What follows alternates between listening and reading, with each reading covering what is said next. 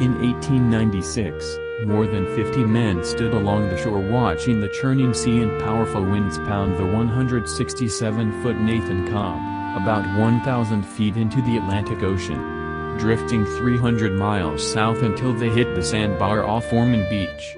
The Nathan F. Cobb had sailed from Brunswick, Georgia on November 28, bound for New York with a load of cross ties.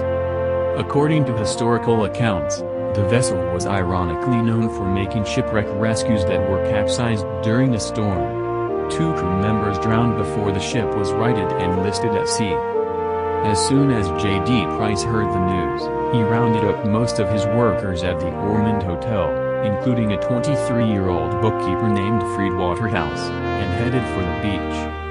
As Price has said, if a first-class life-saving station, with all their improved facilities, had done the work that our village men did with only frail, unsuitable boats and rowlocks that didn't fit, and with what other means they hastily got together, the station would have deserved unstinted praise.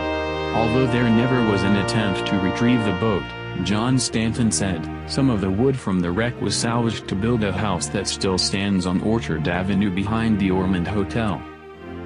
This is the approximate location of where the Nathan F. Cobb sank, approximately 1,000 feet out that way.